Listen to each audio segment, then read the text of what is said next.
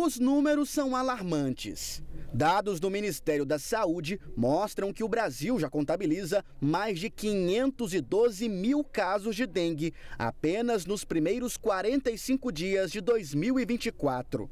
Para a pasta, o aumento se deve a fatores como a combinação entre o calor excessivo e chuvas intensas, além do ressurgimento dos sorotipos 3 e 4 do vírus no país. A vacinação começou na última semana, mas com volume limitado, com o primeiro lote destinado a crianças de 10 e 11 anos e cobrindo cerca de 500 cidades. Até o momento, 75 pessoas morreram pela doença. Outros 217 óbitos estão sendo investigados. Na comparação com o mesmo período do ano passado, os casos de dengue já cresceram quase quatro vezes mais que os registrados. A estimativa é de que o país possa terminar 2024 com mais de 4 milhões de infectados. Um dos problemas do diagnóstico é que muitas pessoas acabam, nesse momento, confundindo os sintomas. Segundo o infectologista Luciano Mourão, acontece de pessoas com dengue acharem estar com uma gripe.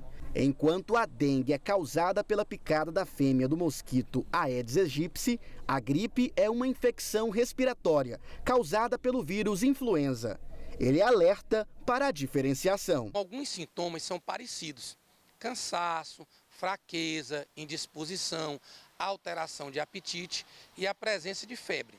Mas alguns sintomas é, caracterizam uma diferenciando da outra. Por exemplo, se a pessoa sentir dores no corpo, principalmente nas articulações, isso vai nos levar mais para o diagnóstico de dengue.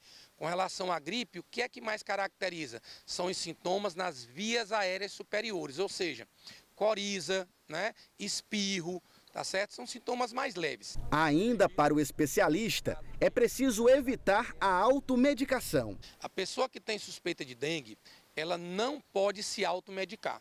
Essa é uma preocupação nossa, profissionais de saúde, com relação à automedicação. Por quê? Porque a dengue, diferentemente da, da gripe, ela pode evoluir para um quadro hemorrágico, tá bom?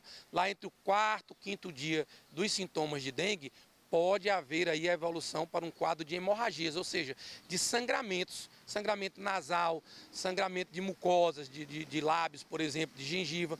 E algumas medicações elas podem é, piorar esse quadro, como é o caso, por exemplo, do AS e o, o caso dos anti-inflamatórios não esteroides, que são chamados de AINES, por exemplo, de clofenaco, é, ibuprofeno, nimesulida. Então esses medicamentos devem ser evitados em caso de suspeita de dengue. Para o diagnóstico, é importante buscar uma unidade hospitalar e se hidratar bastante.